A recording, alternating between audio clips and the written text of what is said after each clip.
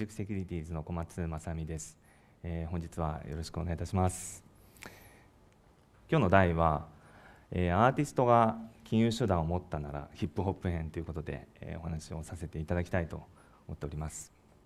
えまずですね皆さんにちょっと冒頭に考えていただきたいことがありまして、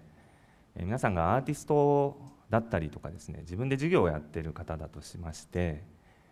資金を集める必要な資金いっぱいあると思うんですけどもそれを集めるのが寄付で集めたいのかもしくは投資してもらいたいのかちょっとイメージしていただきたいと思うんですね。で多分多くの方が、まあ、返さなくてもいい寄付の方がいいんじゃないかなって思うかと思うんですけれども今日は、えー、それを踏まえて、えー、話を進めていきたいと思います。で一つのキーワードはインディペンデントだと思ってます。やはりですね事業をやるにしてもアーティスト活動をやるにしてもインディペンデントっていう考え方が僕自身とても大好きで、えー、必要なことだと思っております。で2つの考え方あると思ってます、えー、まずはなんかものづくり特にアーティストがですねクリエイティブなことをやるためには、えー、クリエイティブにインディペンデントでいてほしいと、えー、誰かにですねあれこれあれ作れこれ作れ言われてえー、作ったりとか、えー、やりたくもないことをやるとかですね。あと自分のメッセージ関係なく、えー、歌ったり踊ったりしていることがですね、まあ、果たしてこう、まあ、何の意味があるのか。私はこう人生かけてアーティスト活動をやるからにはですねこう自分のメッセージっていうのをきちんと持ってそれを発表してほしいと。でどんな音楽やりたいんだということをですねきちんとあのビジョンを持ってそれをこう実現していくっていうことがですねこうクリエイティブなインディペンデントだと思ってます。でそういうインディペンデントな考え方を持ったアーティストっていうのは本当に世の中たくさんいると思ってまして僕もそういう方大好きなんですけども。でただそれを維持し続けるためにはこの2番目にある経済的にインディペンデントである必要があると思ってます。特に音楽ビジネスのお話をさせていただきますとこう資金を負担する人が大事なこう権利というのを持っていきます。例えばこうどういう CD を作るとかいつレコーディングするいくらかけると費用かける宣伝どうするいつ出すそれを決めるのはこう資金を負担した人なんですね。それは当たり前の話でこうリスクを負ってるからなんです。でアーティストそのものが一人一人がですねそのリスクを負えるのかと資金を負担できるのかというとですねまあ、相当貯金がある人でもなかなか大変だと思いますし、えー、それをですねこうどうにかアーティストが、えー、負担できるようにできないかなと思って当社はこの事業を始めました。それがセキュリティというサービスになります。これはですね個人の方々がそのようなリスクの担い手になれるこうウェブサイトのサービスになります。このようなサイトでですね今サービスの方を展開させていただいてまして、まあ、今アーティスト以外のこういろんな事業のファンドが多くてですね例えばこうあの酒蔵さんだったり被災地の応援ファンドだったりですね、まあ、ありとあらゆるこだわりを持った事業者さんが、えー、リスクの担い手を集めていろいろなこう経済的なインディペンデントになってですねこうクリエイティブなインディペンデントを発揮していただく。まあ、そういうようなサイトになっております。今までのこうファンドの実績はですね利用事業者数、えー、31業種ですね。例えば本当に、まあ、J リーグのサッカーチームもそうですしいろんな業種の108社さん全国各地いらっしゃいます。で今まで198本のファンドを作らせていただいてましてそのうちもともと当社の、えー、ルーツでもある音楽のファンドというのが67本あります。でミュージックセキュリティーズという会社名なんですけども、えー、よく会社名変えないんですかって言われるんですけども、まあ、当社のルーツはやはりミュージックなのでここは変えずに頑張っていこうと思ってます。そこでこの名古屋の地で今日はこう名古屋でこういうプレゼンテーションさせていただくっていうのが本当に嬉しくて当社はもう名古屋に育ててもらったようなものなので、えー、この名古屋で今一番この当社のこの仕組み当社とのビジネスというのをですね一番こう展開しているのがこの AK69 ですね。で AK69 はヒップホップのアーティストなんですけれども、まあ、今回ヒップホップ編というふうにさせていただいてですねこういかにヒップホップが、えー、この当社にとって大事な考え方なのかということも踏まえてですねお話しさせていただきたいんですけども。ヒップホップっていうのはですねあのまあすごく音楽のジャンルでもありますしカルチャーでもありますし、えー、ライフスタイルでもあるんですけれども、えー、歌詞とかあのパフォーマンス合わせた本当総合芸術の、えー、音楽ジャンルカルチャーのジャンルだと思ってます。でそこで大事なのはですねやはりそこに生き様というか、えー、人生のストーリーがリアルに乗っかってないと全然ヒップホップじゃないんですよね、まあ、ヒップホップっぽいリズムに乗っけてですねラップをやってもですねそこにこうライフスタイルがなければ生き様が乗ってなければ人はそこに共感しないですしヒップホップではないと思います。で当社はですねこのセキュリティのサービスで関わっている、えー、事業をやってる方々はみんな生き様が乗ってますしまさにこうヒップホップですので、えー、当社はヒップホップとセキュリティというものをですね掛け合わせてこう事業をどんどん展開していこうと思ってます。でそこで AK69 ですね、えーまあ、当初私彼と会ったのは10年以上前になります。え彼もですね駆け出しのラッパーで、えー、頑張ってたんですけども、えー、あれから、えー、当社でファンドも15本、えやらせていただいて CD も DVD 合わせて31タイトルほど出させていただきました。そこでですねもうこの直近の2枚、えここに写真出てますが2タイトル連続でゴールドディスクですねゴールドディスクっていうのは、え10万枚以上売れる CD にですね日本レコード協会がこうあの認定するような制度になってましてこの名古屋のヒップホップで、まあ、当社のようなインディペンデントレーベルでこのような、実績を上げるっていうのはやはり並大抵のことじゃないと思うんですね。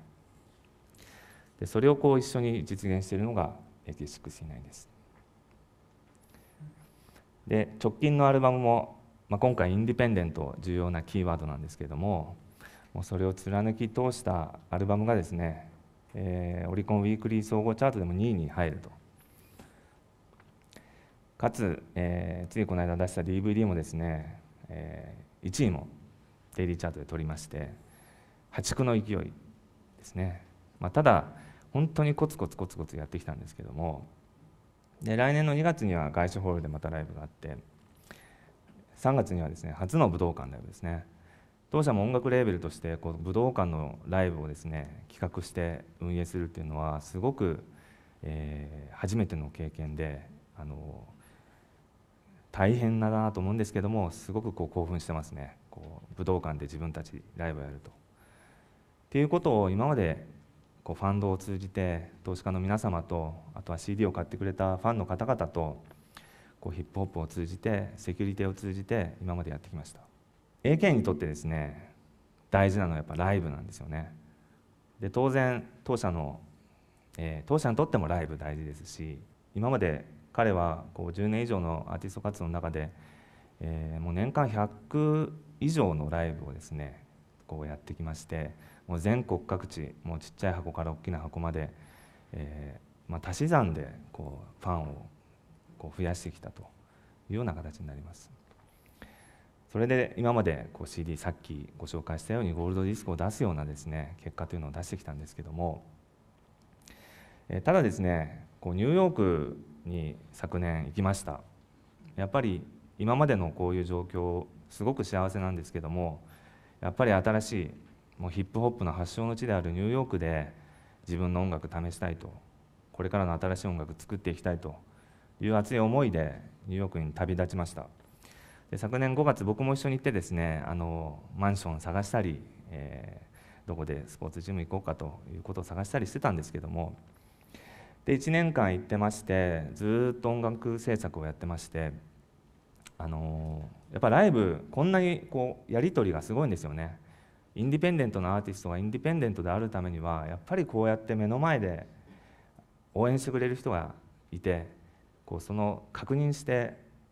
あの力をもらってやっていくんですけどもやはりライブを1年間やっていかないとですね本当にこうファンの方との会えないこうパワーがですねどんどんこうあの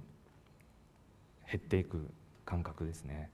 でそこで本当に僕もニューヨーク行って2人で悩んだりしたんですけどもでも頑張ってですねアルバム作って日本に帰ってきてこのようなライブもやってるんですけどもで当社このヒップホップインディペンデントセキュリティというサービスの話をさせていただく中でやはりこう支えてくれる皆さん一人一人のですねこのサポートがどんだけ大事かっていうことでちょっとこの DVD にも入ってる映像の一部をですね皆さんに見ていただきたいなと思って今日用意させていただきました。俺のあのガタついて錆びついたエンジンにもう一度火を灯してくれたのはお前らです。だから俺はこの先もお前らの心のエンジンがガタつきそうだったら俺はお前らの心に一度燃え尽きようとも最近のでもこいつの火は消えない再び宿ることを蘇る映像本当は怖かったオンラインさあそのセルを回せオーライくだらねえ血を捨てたショータイム夢を上げるピストン迫り来るコーナー You started again.